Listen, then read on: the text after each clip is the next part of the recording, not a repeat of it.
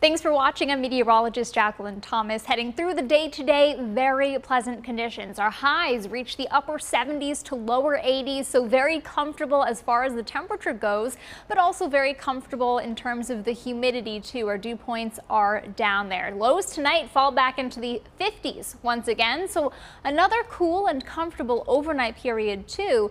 But our dew points will be rising over these next couple of days, which means an increase in the humidity by the middle of the week. So today, very pleasant with dew points in the 50s. By Tuesday, I think it's still a pleasant day, but you may notice a bit more mugginess by the end of Tuesday. And then Wednesday and Thursday, that's when you start to feel those oppressive conditions return, the heaviness in the air as dew points climb back near that 70 degree mark.